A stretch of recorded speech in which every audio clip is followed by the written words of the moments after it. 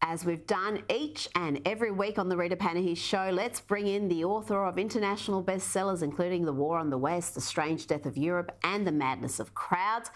Douglas Murray, it's been wonderful to speak with you uh, throughout the year and for this last time in 2023, but we'll have you back in 2024, uh, whether you like it or not. You're coming back, Douglas. Uh, let's start with uh, the shameful performance of presidents of prestigious colleges, including Harvard, MIT, and Penn.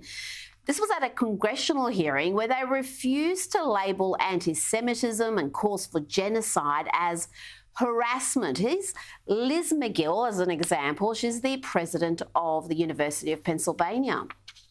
Ms. Magill, at Penn, does calling for the genocide of Jews violate Penn's rules or code of conduct? Yes or no? If the speech turns into conduct, it can be harassment, yes. I am asking specifically calling for the genocide of Jews. Does that constitute bullying or harassment? If it is directed and severe or pervasive, it is harassment. So the answer is yes.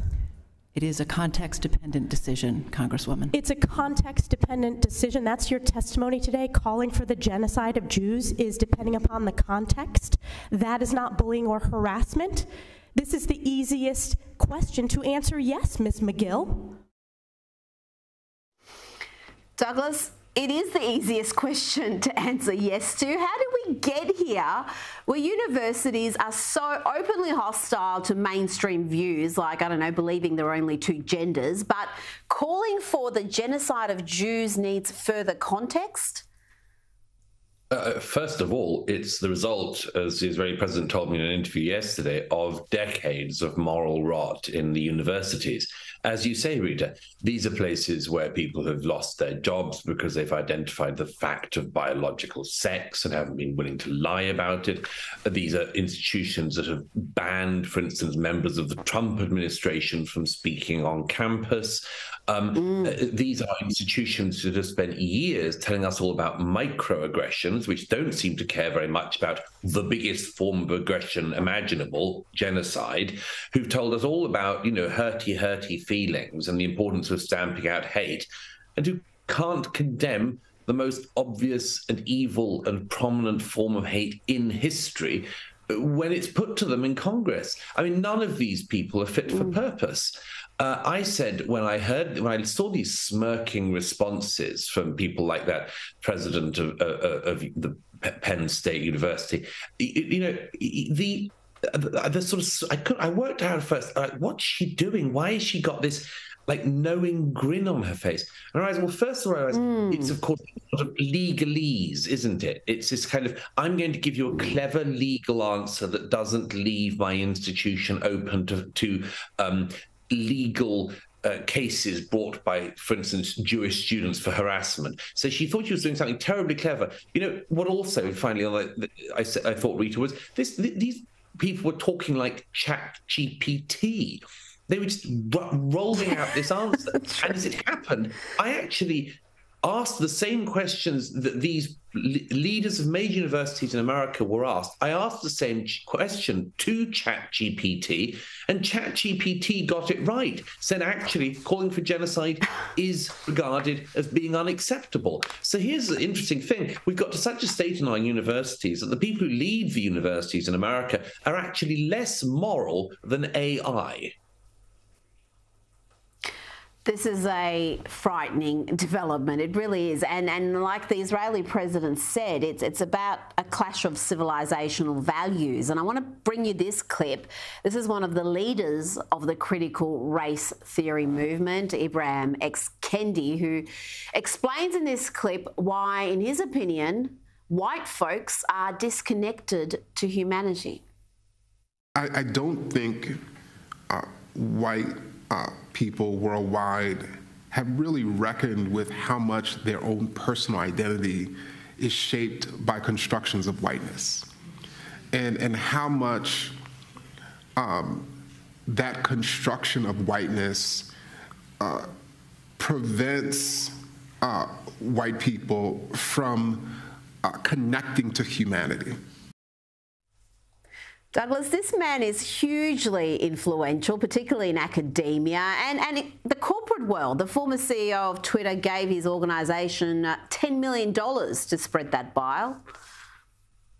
Yes, of course, the organization that he tried to set up at the University of Boston ended up being a, just a feast of corruption and much more. Who could have expected? Mm. Ibram X. Kendi, as people could probably tell from that clip, is not very bright he tries to sort of construct ideas as he goes along and he wades through these piles of waffle.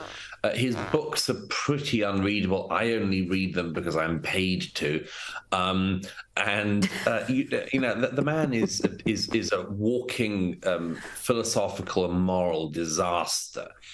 The interesting thing about Kendi, however, is not just that he demonizes a whole race of people, he just demonizes white people in a way that would be totally unacceptable and rightly unacceptable to do about any other race. But for some reason, people seem to think at the moment it's acceptable to do about wh- white people. Mm. It's not just that he does that.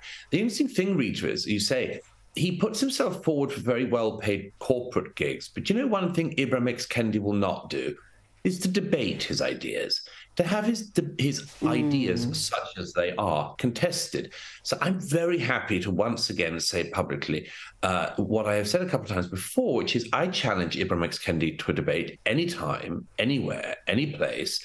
I'm very happy to debate a motion of his choosing. I'm very happy to, for all the proceeds to go to a charity of our choice. And I'd like to see him show up once. But he has never had his facile ideas debated. And so I suggest there's a reason for that. He knows they don't stand up to scrutiny. Fine. Once again, mm. he can reveal that fact to the public. Now to the uh, first son, Hunter Biden, who was today indicted on nine charges, including three felonies. He faces a possible 17 years in prison after spending millions on his uh, lavish party lifestyle while dodging taxes allegedly. But of course, this really isn't about Hunter Biden. Uh, it's about his father and whether members of the Biden family were enriching themselves selling access to the vice president and perhaps even the president. Uh, tell me how you see this story, Douglas. It's extraordinary, Rita, because this story really does seem to be sort of finding its way to a kind of culmination. Um, for years, the problem with the Hunter Biden story has been firstly that it was suppressed. Of course, the New York Post's uh, Twitter account, mm. Facebook accounts, others were suppressed when they revealed the first stash of information from the famous laptop. So the first thing is there's always been this attempt to cover up the story, but the second, in a way, even bigger follow-on from that is why why is the first son apparently immune from things that would be crimes if anyone else ca- carried them out. Um, you know, other people aren't allowed to not pay taxes. Um, other people aren't allowed to um, uh, um, wave a, a, gun they don't have the right to own around on video and sort of boast about it. They're not allowed to smoke crack and just sort of, you know, photograph themselves doing it. And never mind the influence. That's even before you get to the influence peddling. There's just stuff that he's got away with, hmm. which most Americans say, well, we wouldn't, we wouldn't get away with that. And so that plays into this mm. two-tier justice system fear. But the real thing, as you say, Rita, is the, the, influence peddling, where all of the millions came from to fund this lavish lifestyle. You know, um, Joe Biden has spent a life in politics in America that can make you moderately rich.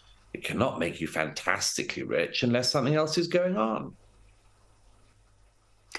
Oh, there is so much to uncover there, and I, I do wonder if we're ever going to get to the bottom of precisely how much they got, the manner in which they got it, and where the money went. Did 10% or more go to the big guy, the now president? Now, before you go, you wrote a fantastic must read piece for The Spectator about the UN and Israel.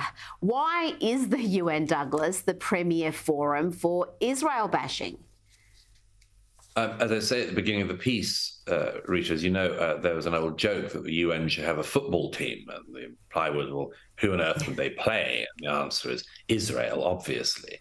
Um, yes. The UN has, for about 50 years, been the world's premier anti Israel uh, institution. In 1975, it passed the notorious um, uh, um, resolution claiming that Zionism is racism, which is, is just, it, I mean, people should go and see the responses of the, uh, um, another thing, it reminds you of a better era of Democrat politics.